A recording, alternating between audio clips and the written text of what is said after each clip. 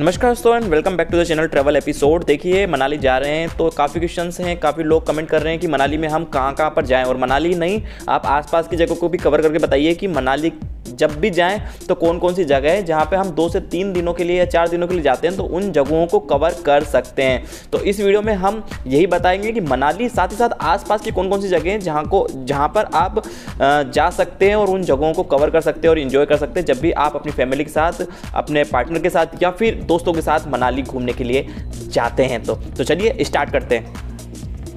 दोस्तों, मनाली के अंदर है सबसे पहले क्लब हाउस देखिए क्लब हाउस जो भी मनाली आता है क्लब हाउस ज़रूर जाता है। रीज़न क्योंकि बहुत सारी एक्टिविटीज़ यहाँ पर हो जाती है लाइक इंडोर एक्टिविटीज़ भी है और आउटडोर एक्टिविटीज़ भी है। साथ ही साथ खाने पीने का भी वहाँ पर जो रोड साइड ढाबे वगैरह हैं, छोटी दुकानें होती है, वो हैं जहाँ पर आपको चाय, मैगी और जितने भी चाइनीज़ फ़ूड हैं, ये मिल जाएँगे। बहुत सारी अलग चीज़ें भी मिल जाएगी। साथ ही साथ रेस्टोरेंट वगैरह भी है, एक क्लब हाउस के अंदर ही तो वहाँ पर भी आप खाना वगैरह खा सकते हैं। साथ ही साथ शॉपिंग भी करनी है तो थोड़ी बहुत शॉपिंग के लिए जो हैंडीक्राफ्ट चीज़ें होती है, जो हाथों से बनाई होती है, वो वहाँ पर मिलती है। तो इन सभी की वजह से ये एक ऐसी प्लेस है जहाँ पर हर कोई जाना चाहता है। तो ये पहली जगह हो गई क्लब हाउस। अगर मनाली जाते हैं तो आपको विज़िट करना है। अब बात करते हैं दूसरी जगह की।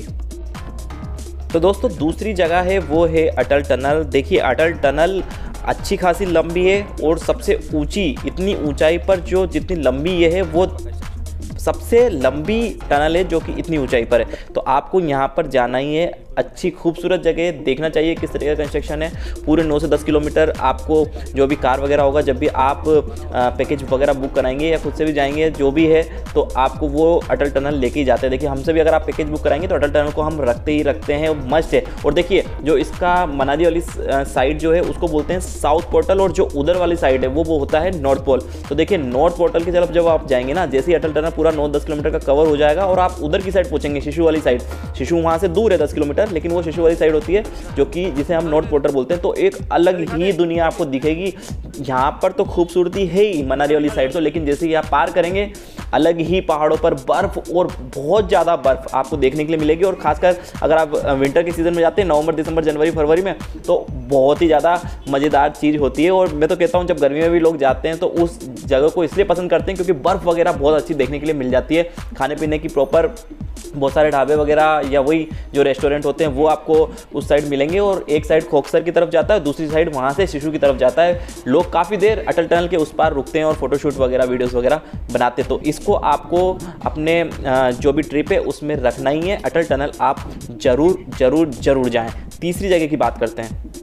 थर्ड प्लेस जो आपको रखनी है, वो है शिशु। देखिए, शिशु विंटर्स की अगर बात करें तो हो सकता है कि भारी बर्फबारी की वजह से जाना वहाँ पर मना हो जाए। देखिए, जो हमारे थ्रू जाते हैं, हम कोशिश करते हैं कि वहाँ पर लेकर जाएँ, लेकिन उसको पैकेज में हम इसलिए नहीं रखते हैं एक बार के लिए, क्योंकि हो सकता है कि वो बंद हो। तो अगर वो ओपन होगा तो बिल्कुल जो भी चार्ज होगा, पंद्रह सौ, बारह सौ, हज़ार, जो भी उस टाइम पर जो भी सीज़न होगा और गाड़ी वाले जितने भी चार्ज करते हैं, हमसे भी लेते हैं तो उसको ऐड हम कर देते हैं और घुमाते हैं। तो आप भी अगर जाते हैं, चाहे हमारे थ्रू जाएँ या जैसे भी जाएँ आप आप ज़रूर अगर ओपन है शिशु तो आप जाकर आएँ, क्योंकि मनाली आए हैं, एक बार आएँ, पता नहीं अगली बार कब आए आए ना आए।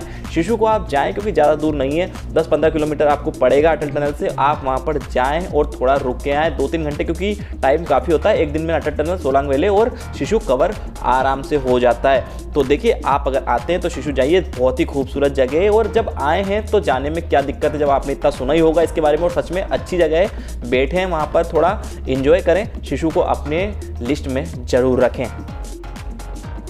दोस्तों, इस लिस्ट में चौथी जगह है, वो है हिडिम्बा देवी टेंपल देखिए, मनाली लोकल साइड सीन के लिए जब आप जाएँगे तो हिडिम्बा देवी टेंपल को बिल्कुल भी मिस ना करें। यहाँ पर जाएँ, जो भी आता है, मनाली अगर लोकल साइड सीन के लिए जाता है वो तो हिडिम्बा देवी टेंपल को कवर करता ही है। तो जाइए यहाँ पर यहाँ पर कौरवों पांडव की एक कहानी भी है, जो भी है फ़ोटोशूट वगैरह भी अच्छा खासा हो जाता है वहाँ पर, अच्छी जगह है। तो जब भी लोकल साइड सीन के लिए आप मनाली में आएँगे और जाएँगे तो इस जगह को बिल्कुल कवर करें हिडिम्बा देवी टेंपल ये हो गई हमारी फोर जगह। बात करते हैं पाँचवीं जगह की।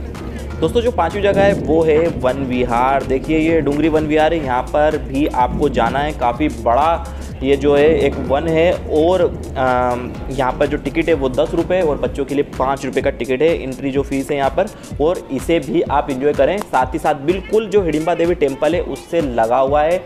ये जो डुंगरी वन विहार है और आप यहाँ पर जाएँ। बिल्कुल अंदर आपको एक दो दुकानें वगैरह मिलेगी जूस वूस भी मिलेंगे और बाहर की साइड तो जो हिडिम्बा देवी टेंपल है उसके बाहर जब आप चढ़ोगे ना सीढ़िया सीढ़ियों से तो आपको काफ़ी ऐसी दुकानें हैं जहाँ पर खाने पीने की खूब सारी चीज़ें मिलती है। तो वहाँ पर उन चीज़ों का भी लुत्फ उठाएँ साथ ही साथ इसे भी घूमें। जब बर्फबारी होती है जनवरी दिसंबर में तो काफ़ी ये भी बहुत ही प्यारा लगता है यहाँ पर घूमें और इन्जॉय करें। दोस्तों जब पूरी लोकल साइड सीन आप कर लेंगे, उस दिन जो पहला वाला दिन होगा तो शाम को आप जाएँ मॉल रोड देखिए मॉल रोड के बाद आप डायरेक्ट रूम चले जाएँ, अपने जो भी होटल है। तो मॉल रोड शाम को काफ़ी अच्छा लगता है, काफ़ी दुकानें, बहुत सारी दुकानें यहाँ पर, आप शॉपिंग वगैरह भी कर सकते हैं, आप चाहते हैं तो। और साथ ही साथ आपको खाने पीने की तमाम चीज़ें यहाँ पर मिलेगी। कई रेस्टोरेंट्स हैं और कई ऐसी चीज़ें हैं जो आप यहाँ पर खा सकते हैं। साथ ही साथ आप शॉपिंग का मज़ा यहाँ पर ले सकते हैं, बैठ सकते हैं। काफ़ी दुकानें चहल पहल आपको जो भी लोग होंगे ना, जो मनाली में उस टाइम आए होंगे, वो मॉल रोड ही घूम रहे होंगे तो वो आपको देखने के लिए मिलेगी। सारी दुकानें भरी हुई रहती है तो इसका भी लुत्फ उठा सकते हैं। काफ़ी अच्छा रहता है और जो भी आता है मॉल रोड ज़रूर जाता है। सोलांग वैली। दोस्तों, इसी लिस्ट में आगे आता है सोलांग वेले। देखिए, सोलांग वेले का आपने नाम काफ़ी सुना होगा और सर्दियों के दिनों में जब नवंबर, दिसंबर, जनवरी, फरवरी इन चार महीनों में तो यहाँ पूरी बर्फ़ की एक चादर लगी होती है। तो जितनी भी स्नो एक्टिविटीज़ होती है, जो कि स्नो पे ही हो सकती है, वो सभी यहाँ पर होती है, उनका आप लुफ्त उठा सकते हो। साथ ही साथ पैराग्लाइडिंग है, रोप वे है, ये भी यहाँ पर होती है। तो सारी जितनी भी एक्टिविटीज़ वगैरह है, अगर वो आपको करना है तो सोलांग वेले आपको जाना ही पड़ेगा। और सोलांग वेले बहुत ही ज़्यादा सुंदर और बहुत ही अच्छी जगह है। यहाँ पर आप ज़रूर आएँ और पैराग्लाइडिंग और ड्रॉप वे और जितनी भी एक्टिविटीज़ है, जो कि स्नो में ही होती है स्नो लवर अगर आप हैं तो सोलांग वेले इस सीज़न में ज़रूर जाए विंटर वाले में। गर्मियों में भी अगर आप आ रहे हैं, अगर ये वीडियो ऐसा देख रहे हैं तो गर्मियों में भी ये सारी चीज़ें होती है, केवल स्नो वाली एक्टिविटीज़ नहीं होती, बाकी जितनी भी एक्टिविटीज़ हैं, वो आपको यहाँ पर करने के लिए मिलेगी। तो सोलांग वैली, जो कि मनाली से करीब पंद्रह किलोमीटर की डिस्टेंस पर है, आप अपने पैकेज में ज़रूर रखवाएँ। और जब भी पैकेज लेके आएँ तो सोलांग वेले को कवर बिल्कुल करें। याद से ज़रूर सोलंग वेला आपको आना है ये बात आप ध्यान रखें। तो दोस्तों, ये सारी चीज़ें मैंने आपको बताई जो कि अगर आप मनाली घूमने आ रहे हैं तो आपको आना ही है, खासकर सर्दियों के सीज़न में। देखिए, इसके अलावा एक कोक्सर भी एक जगह है, अगर वो भी ओपन है उस टाइम पर तो उसे भी आप अपने पैकेज में रख लें। लेकिन डे फिर थोड़ा सा आपको एक्स्ट्रा रखना पड़ेगा, पर ये जो मैंने चीज़ें बताई है, तीन से चार दिन में आपकी सारी कवर हो जाएगी। इसी पैकेज में जो तीन से चार दिन का अगर आप बुक कराते हैं या खुद से भी आ रहे हैं या जैसे भी कर रहे हैं, कोई उसमें दिक्कत नहीं है। तो आप साथ ही साथ कुल्लू और नगर को भी रखें। देखिए, कुल्लू एक अच्छी जगह है, यहाँ पर आप जाएँ और एक्टिविटीज़ वगैरह जो भी है कुल्लू के अंदर भी होती है तो रिवर राफ्टिंग वगैरह का मज़ा लेना है तो कुल्लू आपको जाना पड़ेगा। तो कुल्लू नगर को भी आप तीन से चार दिन के पैकेज में, जो मैंने जितनी भी जगह बताई, उसके साथ में रख सकते हैं। अगर डे एक्स्ट्रा है तो आप पूछ लें। एक बार उसका कॉस्ट भी थोड़ा सा फिर बढ़ जाता है क्योंकि गाड़ी वगैरह और आपको एक दिन एक्स्ट्रा भी रुकना पड़ेगा। तो कॉक्सर भी अगर ओपन है सर्दियों में शायद हो सकता है कि अटल टनल के बाद ना जाने दे तो कॉक्सर आप ना जा पाएँ। पर शिशु को आप पूछ लें जिससे भी पैकेज बुक करा रहे कि शिशु जा सकते हैं क्या और उसकी कॉस्टिंग भी आपको वो बता देगा। तो अटल टनल शिशु रो, रोहतक पास तो गर्मियों में ही ओपन होता है पंद्रह मई से पंद्रह नवंबर।